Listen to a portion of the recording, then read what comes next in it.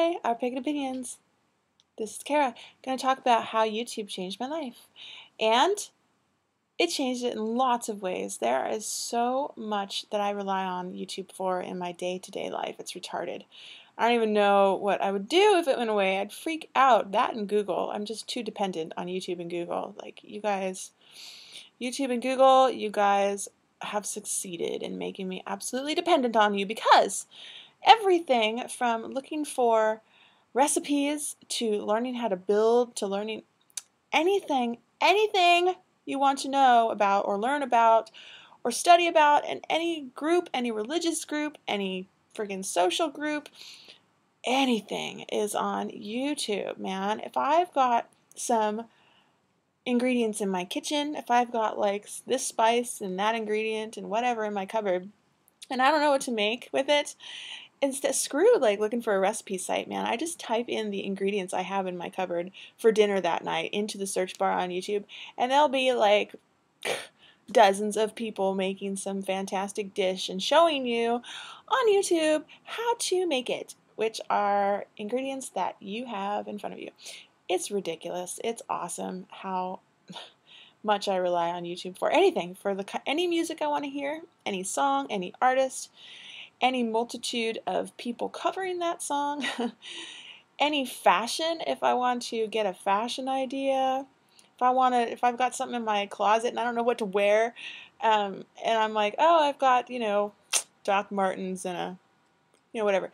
Just type that in. There'll be a million girls on there showing you how to wear Doc Martens and all these different styles. So it's amazing reference. So it changes my life in that respect. It's like totally my go to website for anything I want to know. When I was having my baby, I was on YouTube all the time looking at all the different birth methods, all the different people and communities who I could connect to to help me along with my choice of birth method. I met a woman who gave me a CD on here that helped me through my labor. It's awesome.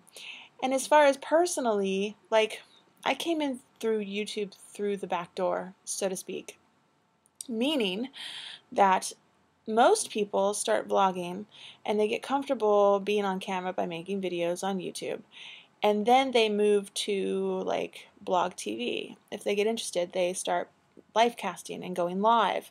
And that's a whole other ball game. But uh, I kind of went the opposite direction. I started live casting first, and then I um, moved live casting, keeping my camera on live and talking to the live audience. Um, no editing, no filters, blah blah.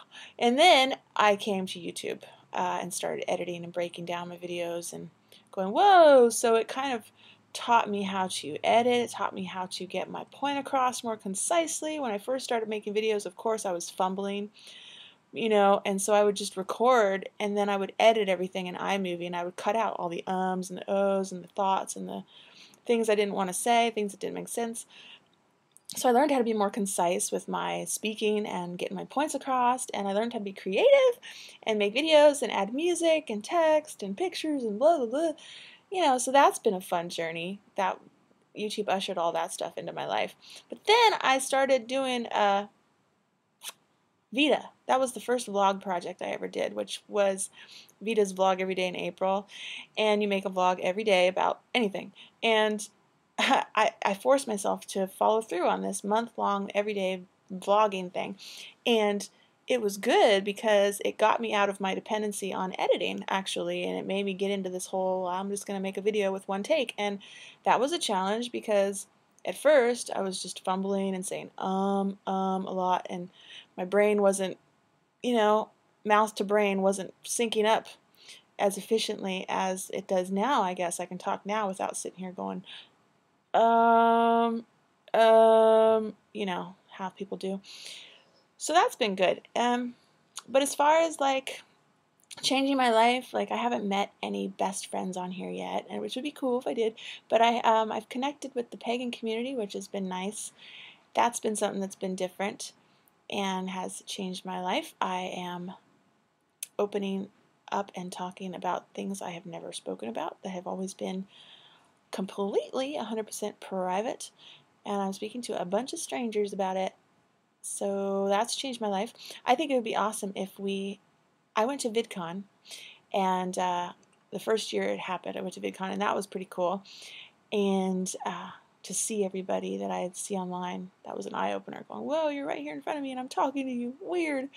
But um, I think it would be neat if pagans had a YouTube gathering. Almost every community on YouTube has YouTube gatherings for their particular community.